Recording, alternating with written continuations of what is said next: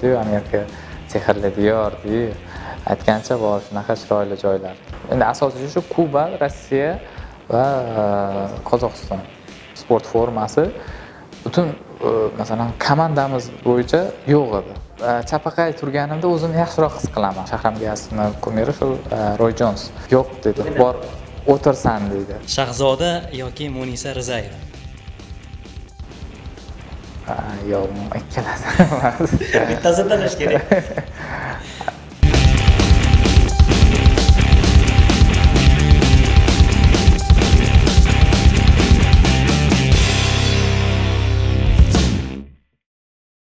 assalomu alaykum isroil. Taklifimizga yo'q demaganingiz uchun sizga rahmat. Menda ham bir ikkita savollar bor.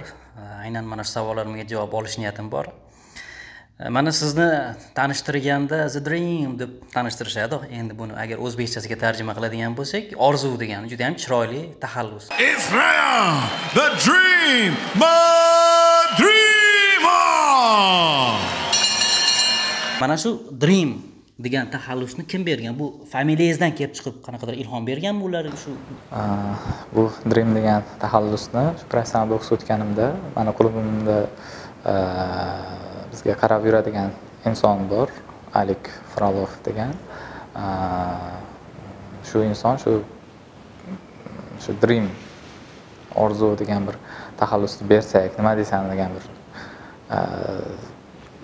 taklif berilgan endi bizga u umuman to'g'risi qizig'i ham bo'lmagan. Endi bu narsaga e'tibor ham bermaganmiz. Chunki bilasiz bu narsa bizda havaskor boksda yo'q ham. Professional boksda bu katta ahamiyatga ega ekan. Bu ham imij imij va u aytib o'tgandek o'sha dream orzu. Masalan mana shu yerda dream orzu bilan boshladik xudo xohlasa katta orzular shu yerda qo'yildi. Shu san bilan xudo xohlasa yuksak natijalarga erishishga harakat qilamiz deb shu shu taxallusni beraylik degan bir taklif bilan chiqishdi va yo'q demadik. Endi lekin rostdan ham juda chiroyli taxallus tanlangan ham e, o'sha familiyangizga ham mos dream madrimov deb e'lon qilganda chiroyli eshitiladi haqiqatdan ham. Mana siz bir necha yillardan beri aqshda istiqomat qilyapsiz va undan oldin ham aqsh haqida qanaqadir tasavvurlaringiz assotsiatsiya bo'lgan baribir sizdada sizni tasavvuringizdagi ya'ni o'zbekistonda yurgan paytingizdagi tasavvuringizdagi aqsh bilan ya'ni amerika qo'shma shtatlari bilan siz borgan ko'rgan real hayotdagi aqshni qanaqa tafovutlari bor ekan? Qanaqa bo'lib chiqdi aslida? Endi e, bo'lmagan joyingizda baribir birinchi navbatda qiziqish juda yam kuchli bo'ladi. Televizorlarda ko'rganmiz o'sha yosh kinolarda ko'rganmiz. Bilasiz uyda yolg'iz degan e, kinolarni ko'rganda yangi yil e, bu yerda nishonlanishlar endi shu yerda bo'lgingiz kelib qoladi. Endi bordik xudoga shukur shu joylarga ham juda chiroyli joylar aytadiyu amerika sehrli diyor deyu aytgancha bor shunaqa chiroyli joylar. Lekin baribir biz sportchilar o'z mamlakatimizni o'z diyorimizni sevamiz. U yerda yashab ketish mani o'zimga to'g'risi oson emas ekan. To'g'ri ham mm, kelmadi chunki ota onam oilam shu o'zimni yurtimda yashashni yaxshi ko'rar ekanman shuning uchun ham ko'proq borishimiz bilan qaytishimiz qachon ekan deb o'ylanib qolamiz. Demak siz baribir o'zimiz yurtimizda yashashni ma'qul ko'rasiz yaxshi ko'rasiz. Э, umuman э, bitta bokschini o'sha bokschi bo'lib yetish uchun u juda katta mehnatni katta mashaqqatli yo'lni bosib o'tadida. Juda katta qiyinchiliklarni bosib o'tadi. Ayniqsa o'zbekistonda bir shuncha iqtidorlar orasidan yetishib chiqish o'sib chiqish juda oson ish emas bunday olib qaraganda. O'zbekistonda boksdagi bolalarni asosiy muammolari nimada ko'rasiz siz? Ya'ni o'zingizni tajribangiz misolida yoki hozir ularni muammolari nimada bolalar boksini? Endi bolalar boksini hozirda hozirgi vaqtni oladigan bo'lsak endi muammo e, raqobat bo'lishi mumkin. Hozirda boshqa narsani e, nima deydi topish e, nogumon desak ham bo'ladi umuman yo'q desak. Demak boks perchatkalari zallar bu borada trenerlar borasida muammo yo'q demoqchisiz yo'q chunki bilasiz har bitta shart sharoit yoshlarimiz uchun yaratilgan buni man misolini nimadan bilaman? Mani o'zim masalan yoshlikda shu qatnashgan bo'lsak bunaqa darajadagi imkoniyat yo'q edi. Oddiy o'sha eslayman. Jahon chempionatiga borib kelganmiz ikki ming o'n birinchi yil u payti. Kipirovka shu o'zbekiston kipirovka sport sport formasi. Butun e, masalan komandamiz bo'yicha yo'q edi. Yo'lga qo'yilmagan ham bo'lganda to'g'rimi? O'shanaqa narsa.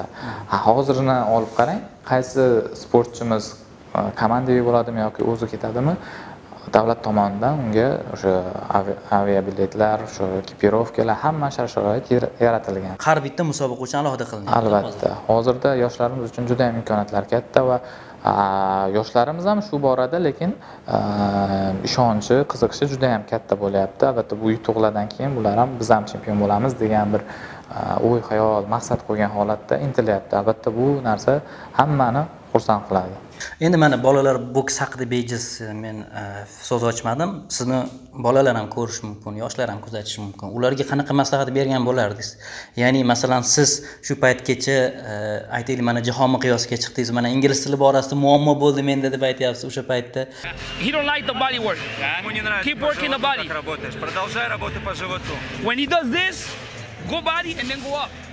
You're gonna catch him with the right. Also, hey, also fade and right hand. Okay? Balki ingliz tilini bilsangiz yana ham osonroq bo'ladi mashg'ulotlar chunki trener e, baribir sizga hozir shu e, hozirgi treneringiz aytaylik dias sizga inglizcha gapiradigan bo'lsa baribir o'zingiz tinglab nima deydi tushunib uni bajarganingiz ma'qulda shuni shu borada ham fikrlaringizni aytsangiz endi ha, bu narsani murabbiylarimiz ko'p aytishgan shuni ham biz yoshlarga ko'proq aytib o'tiramiz iloji boricha shu birinchi navbatda e, shu sportga kirib keldimi? Sportgami yoki bir kasbga kirib kelgan paytda albatta bitta maqsad. Birinchi navbatda maqsad qo'yish kerak. Maqsad mm, o'sha chempion bo'laman. Chempion bo'lish yo'lida nima kerak sizga? Yaxshi shug'ullanishingiz kerak bo'ladi. Uni ichiga hamma narsa kiradi. Yaxshi o'qish ham kiradi. Chunki o'qish bu aqlni charxlaydi va o'sha e, sportda ham sizga katta yordam beradi. Va aytib o'tganingizdek o'sha tilni o'rgansa yaxshi masalan kelajakda qiynalmaydi va o'sishiga ham yordam beradi.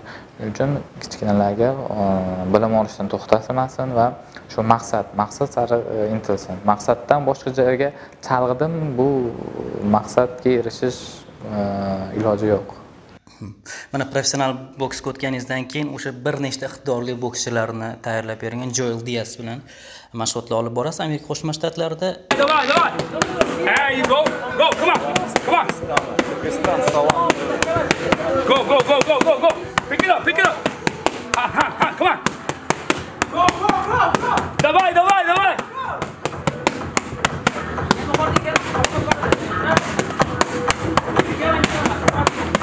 One,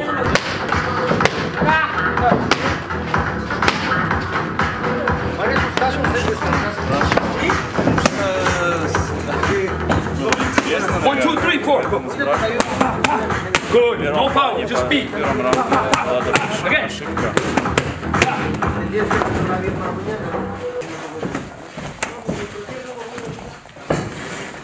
mana shu uh, jahon darajasidagi top aytaylik murabbiyda siz qanaqa xislatlarni ko'rdingiz va qanaqa uslublar sizga ma'qul keldi? Ya'ni aynan bu yerda ko'rmagan bu yerda topmagan shunaqa uslublar xislatlar. Murabbiy birinchi navbatda shogird bilan juda yam yaqin bo'lishi kerak. Uni har bitta gapini eshitadigan va unga yordam bera oladigan murabbiy bo'lishi kerak. Chunki sportchida har qanday vaziyat bo'ladi. Mayli sportda juda yam yaxshi bo'lishi mumkin lekin hayotda unda sal boshqacha bo'lishi mumkin. Shu borada unga a, masalan qanaqadir yo'l ko'rsatish kerak. Shu borada shu joel dias a, ular aka uka toni dias va joel dias ikkita mm, murabbiyim bor amerikada. Man birinchi o'sha amerika zaliga kirib kelganimda ular mani shu zalda avvaldan shug'ullanadigan insondek qabul qilishdi. Juda yaqin inson juda ekan. ham yaqin inson Birinchi marta A, birinchi navbatda ismimni so'radi masalan mana shunaqa mana shunaqa isming nima xursandman tanishganimdan и shu yerda ish boshlandi mashg'ulot boshlanib ketdi mashg'ulot boshlanib ketdi va nima deydi alohida o'zimga mashg'ulot o'tib yakka tartibda va shu yerni o'zida menga a, qo'llab quvvatlashni boshladi masalan man birinchi kun keldim ay e, bu e, Yangi. e, yangi deb yoki qaramasligi yoki yengilroq e, topshiriqlarni bajarishni aytsa bo'lardi Hmm. lekin menga u shu qiyin narsani aytib va shu qiyin yo'lda menga e, bir nima deydi qo'llab quvvatlab san qila olasan bu narsani deb dalda berib turdi shu narsalar menga juda yam bir ma'qul keldi. Har doim nima e, vaziyatda bo'lmagan qanaqa vaziyatda bo'lmagan mandan maslahat so'ra xoh u sportda bo'lsin xoh e, hayotda. Va shu borada bizga har doim masalan shu mashg'ulotgacha bizni tayyorlaydi. E, zalga kirib keldingmi? Yaxshimisan isroil. Tayyormisan. San chempion bo'lasan deydi. Sani ruhlantirib turib mashg'ulotni boshlaydi. Va mashg'ulot davrida ham o'sha sizga ko'proq o'zini bilimlarini berib shu ruhlantirib ishontiradi. Birinchi sportchiga albatta ishonch kerak bo'ladi. O'shanda bir yaxshi natijalanadi va shuga o'ziniga ishontirib mashg'ulot o'tkazadi. Va shu borada bizni hozirgi e, tarkibimiz bilasiz o'zbek sportchilar bu yerda joylashganmiz.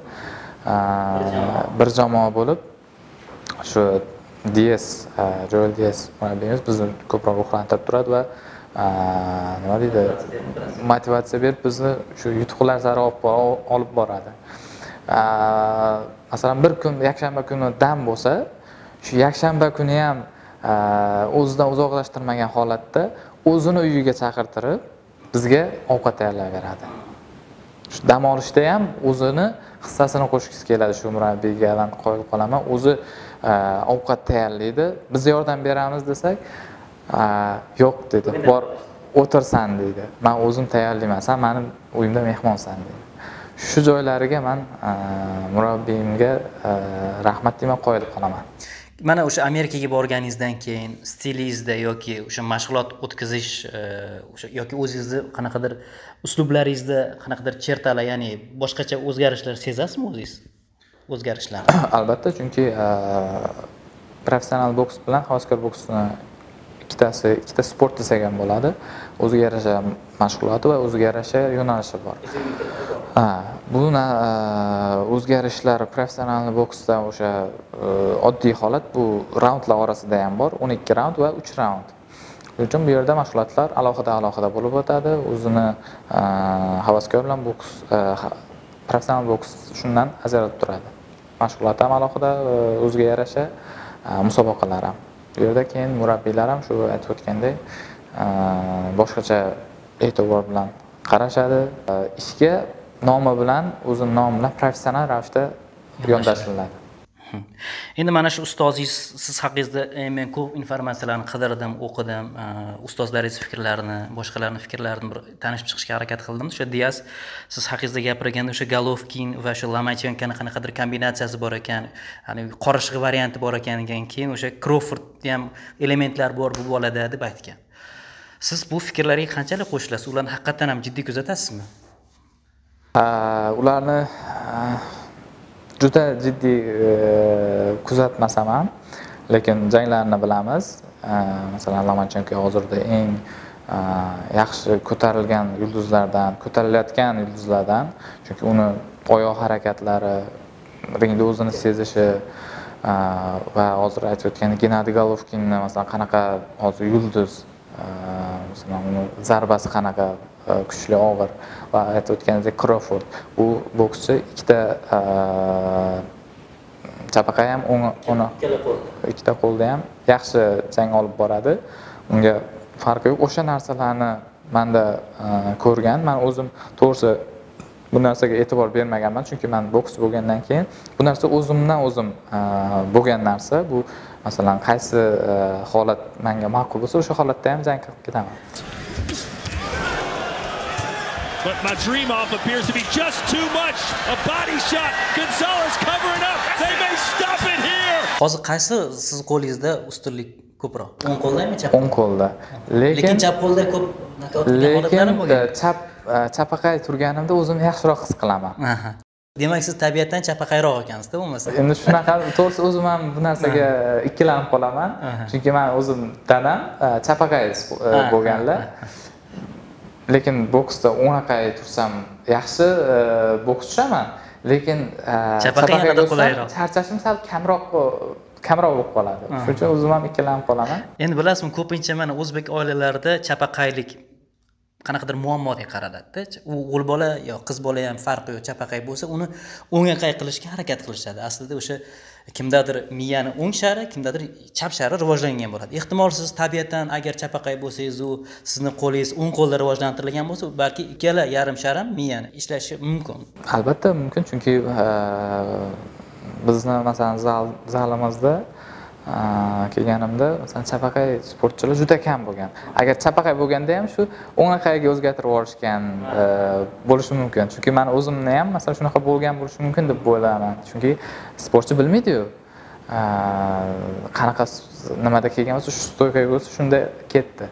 Roy jonsga savol berishganda kimlarda o'zingiz uslubingizni ko'rasiz? deganda u ham bir o'zini fikrini aytganda va e, tiafimon aytgan e, kevin nyumanni e, josh kelli va o'zbekistonlik bir sportchi bokschi deb aytgan va ismini eslolmadim degan. Endi ko'pchilik e, jurnalistlar yoki sportchilar kommentariy yozayotganlarda izoh yozayotganlarda bizningcha bu isroil madrimov deyishyapti. Endi bilmadim chunki bu roy jonsni holatiga nimasiga endi bu shahram gazov to'g'ri keladi shahram akamiz chunki u e, qo'llarini tushirgan holatda o'sha oyoqlar ho- holatida o'zini e, tutishi shu roy jonsga ko'proq tahdid qiladi uni kumiri shahram e, shahram gazovni kumiri shu roy jons hisoblanadi va shu boks holatlari ham o'xshab ketadi. A sizningcha demak shahram g'iyosov bo'lishi mumkin u aytgan.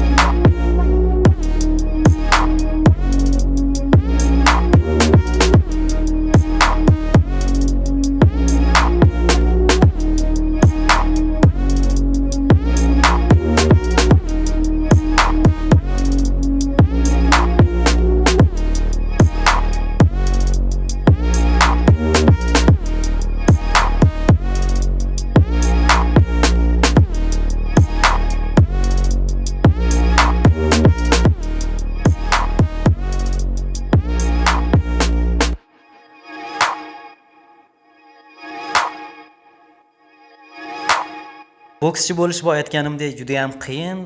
Uni boshida boya ham savol berishdi. Jarohatlar ehtimol juda katta. Endi ko'rganmiz bokschilar o'sha boksdan keyin baribir tanasida o'sha his qiladi. Boshida baribir ko'p zarba yeydiyu. Shu narsa nima deydi? Sizni cho'chitmaydimi tashvishlantirmaydimi?